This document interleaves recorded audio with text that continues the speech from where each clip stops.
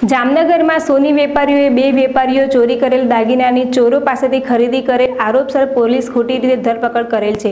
તેના વિરુદ્ધ તમામ ધંધા રોજગાર સજ્જડ બંધ પડી રહ્યા છે અને વિરોધ પ્રદર્શન કર્યું છે.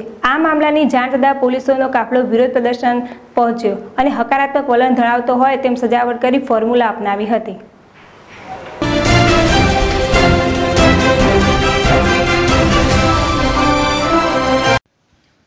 જામનગરમાં સોનીએ બે વેપારીઓએ ચોરી કરેલા દાગીનાની ચોરો પાસેથી ખરીદ કરેલા આરોપસર પોલીસે ખોટી રીતે ધરપકડ કરી છે. તેના વિરુદ્ધ તમામ ધંધા રોજગાર સજ્જડ બંધ પાડ્યો. પોલીસના પોઝિટિવ વલણથી મામલો થાળે પડ્યો. જામનગરમાં ચાંદી બજારમાં વેપારીઓએ સજ્જડ બંધ પાડી વિરોધ પ્રદર્શન કર્યું હતું. જોકે વેપારીઓએ બંધ પાડતા પોલીસ ઘટના સ્થળે આવી ગઈ હતી, પરંતુ વેપારીઓ પોતાની માંગણીઓ પર અડગ રહી કસ્ટડીમાં રહેલ બંને વેપારીઓને છોડવાની માંગ કરી હતી. બે દિવસ અગાઉ પણ ચાંદી બજારના વેપારીઓએ પોલીસ સ્ટેશને રજૂઆત કરી હતી, પણ કોઈ ઉકેલ ન આવતા આજે ફરી વિરોધ પ્રદર્શન કર્યું હતું. સીટીએ ડિવિઝનના પીઆઈ સહિતનો પોલીસ કાફલો ઘટના સ્થળે આવી ગયો હતો અને બાદમાં સોની એસોસિએશનના પ્રમુખ સહિતના અગ્રણીઓએ પોલીસ સાથે બેઠક કરી હતી. આ બેઠકમાં પોઝિટિવ પ્રત્યુત્તર મળતા આ વખતે સોની વેપારીઓએ બંધનું એલાન પરત ખેંચ્યું. જોકે છેલ્લા છન્નું કલાકથી સોની વેપારીઓ પોલીસ કસ્ટડીમાં છે. ઉલ્લેખનીય છે કે ચોરોનો આ વીડિયો પણ વાયરલ થયો છે. વિડીયોમાં ચોરીમાં એવી કબૂલાત કરે છે કે સોની વેપારીઓએ અમોને ચોરીનું સોનું આપ્યું છે. હર્ષલ ખંદેડિયા જેડેશ ટીવી, જામનગર.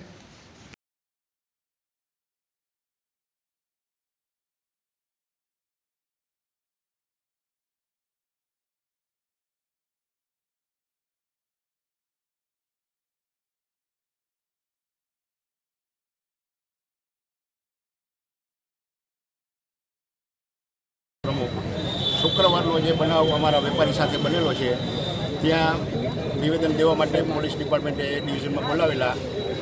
જે અમારા પેઢીધારક કિશોરભાઈ છે, વેપારી તેને. એને નિવેદન આપ્યું કે છ મહિના પહેલાં મેં આ મેટલ પોલીસમાં જમા કરાવી દીધેલ છે. તો આ પાછું રિપીટ ન થવું જોઈએ અને મને અન્યાય થાય છે, એમાં તમે લોકો મને મેટલ હાજર કરવાનું કહો છો. તો આ અંગે ચર્ચા કરી, ડિપાર્ટમેન્ટ સાથે અમે લોકોએ ચર્ચા કરી, સમાધાનની પ્રક્રિયા ઉપર અમે લોકો આવ્યા. ત્યાર પછી પણ અમે લોકોએ જે અધિકારી હતા એને કીધું કે, ભાઈ, કલમ તમે લોકો જે પ્રોપર હોય એ લગાડજો.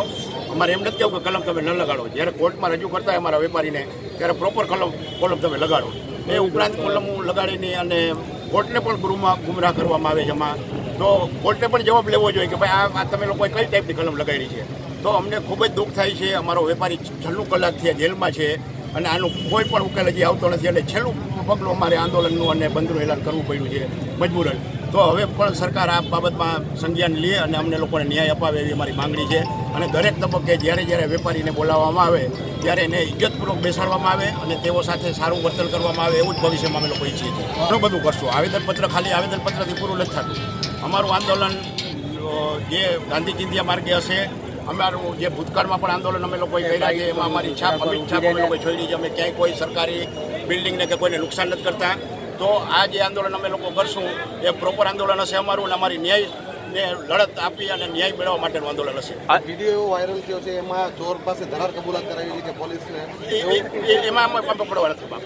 આજે શું આગળ શું પોલીસ એના આગળ વાત કરે છે શું નથી કરતું એ અમારો વિષય નથી. આજે વીડિયો વાયરલ થયો હોય તો એની પુષ્ટિ અમે લોકો નથી કરતા. અમારી પુષ્ટિ એક જ છે કે અમારા વેપારીને જે અન્યાય થાય છે એ ન થવો જોઈએ ભવિષ્યમાં પણ.